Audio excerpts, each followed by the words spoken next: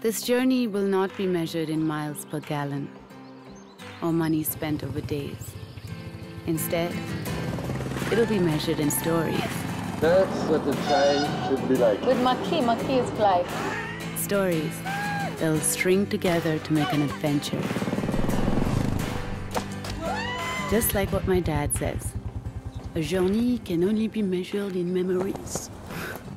Join me and my dad Joel as we drive through the Northeast on our most epic bike ride. Kalki's Great Escape, a brand new show, starts 17 September, 8 p.m. on Fox Life.